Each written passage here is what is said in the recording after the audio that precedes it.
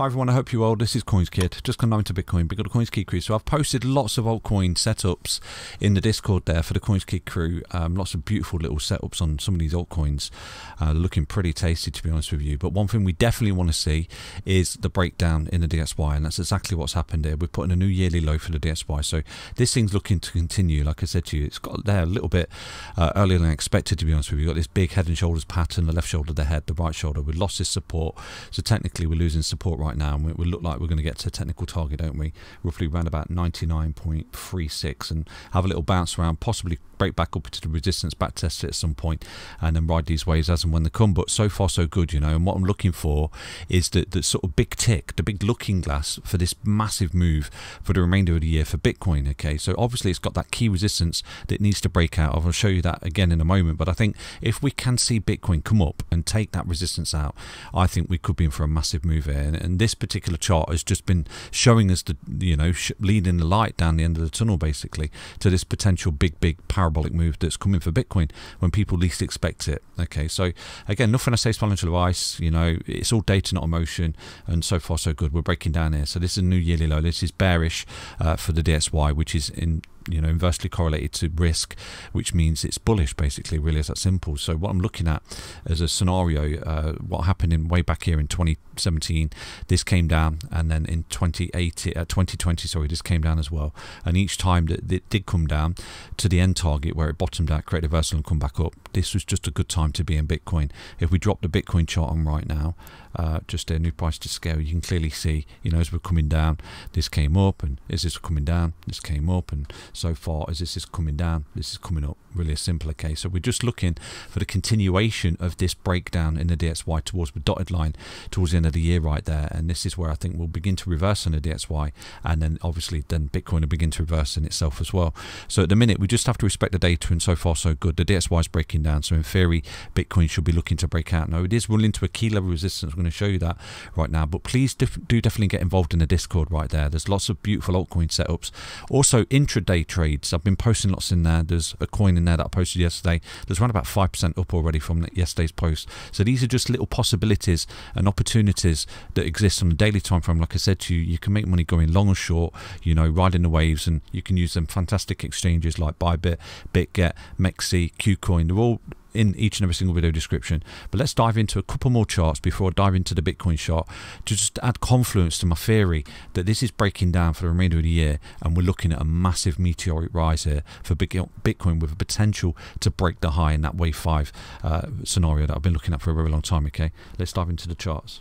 So the first chart, you know, is the S&P 500. I've been showing this for a very long time. We've got the bullish cross, the 20 and the 55 year made a buy and go to the beach signal from CoinsKid on the S&P 500, and so far I think we're roughly up from that signal, around about 10% uh, right there for the S&P 500. Now this signal, we looked at the historical data for this particular signal way back when it was formed, and we went had to go back all the way to the 50s, which is 18 instances of it that you know that the last time it didn't, it wasn't fruitful basically. So you know, so far so good. We've got to respect the data. We're breaking like I said, if we take out that level of resistance just there, then this will begin to increase increase the probability that that's a wave three, and we should be looking to come up, take out the one fib, and a minimal target would be 1272 at 5259. So so far so good. Okay, now you know let's jump into another chart and show you a little bit more confidence to the massive move that we could be going through towards the end of the year here uh, for risk appetite. So this chart is a Dow. Basically at the moment we've got an inverse head and shoulders. It looks like it might start to bubble up here, coil up and then break out. So if we do get the breakout, then I think we're putting a new all-time high for the Dow. Break that resistance. I think I'm looking at around about 37610 uh, for the Dow. And if you take a look, we've got the 1, the 2, the 3, the 4, the 5. So like I've always said to you, always look to counter five waves. This basically came down to that neckline. So swing high, swing low, find support, up you go. So it's looking to break and get towards that level if we begin to take this level out here because it's a technical target of an inverse uh, head and shoulders pattern, which is a bullish pattern basically. You coil up left shoulder, head, right shoulder, coil up, boom, see you later. We've traded many of these in the past. Okay, so this is just adding more confluence to the fact that I think we've got some kind of big, big sort of push here that began from way back last year, okay, when the DXY began to break down, you know. So we're looking pretty okay, providing we can see the continuity inside of these charts that I'm showing you, okay. So let's dive into the Bitcoin chart right now and see what we can see. Looking at Bitcoin on a weekly time frame, we are in a buy and go to the beach signal from CoinsKid right now, and they are actually, you know, they're like rocking all shit for Bitcoin. It's so far so good. We've corrected back into that golden signal, and right now we should, in theory, be looking to come upstairs. You know, the, the fruits of that signal should be in front of us, basically, just like the previous buy and go to the beach way back there in April 2020 after that big capitulation, the corona dump, the fear, the blood, V-shaped out of there, fell back into it, and then we took off. So in theory, we're sort of same level. And I've gone through all this analysis with you, not only in the charts and above the EMAs, equally in the RSI. We've been looking at the RSI's confluence as well, okay?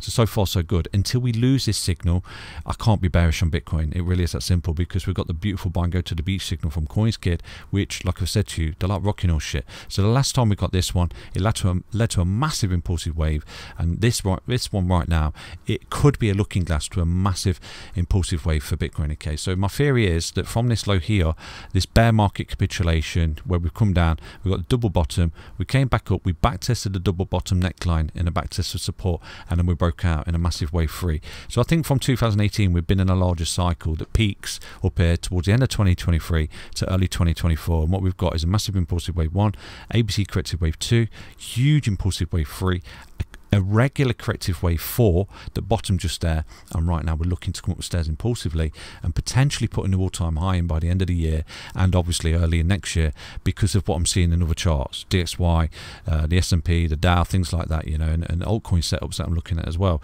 that I think that this has just been a big irregular correction within a larger bull market you know a cycle peak to peak cycle theory like I've said to you so many times. It's just increasing every cycle by two years. The first cycle was two years, the second cycle was four years, and the, the final cycle here, the third cycle, which we're actually in, is just a six year peak to peak cycle. Okay, so this is a fear I've had for a very, very, very long time.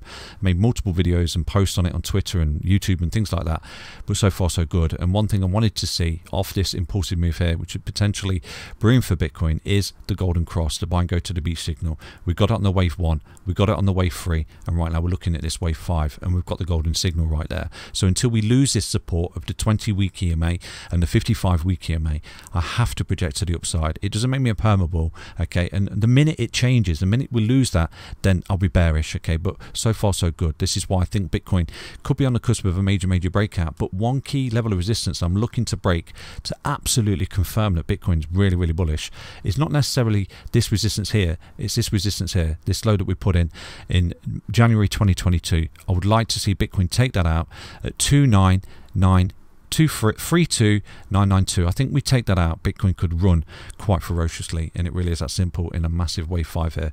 Okay, so I hope you enjoyed that update. Stay healthy, stay strong, stay tuned. Take care, everyone. Back to another update on Bitcoin. Bye bye.